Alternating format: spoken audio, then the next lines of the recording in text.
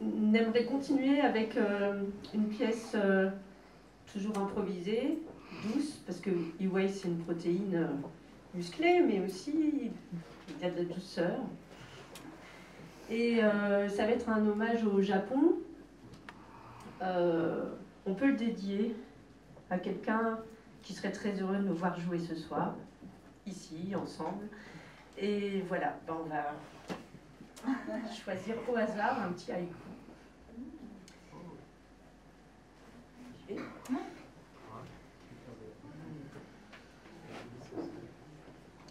Nuit d'automne, rêve, ronflement, sauterelle.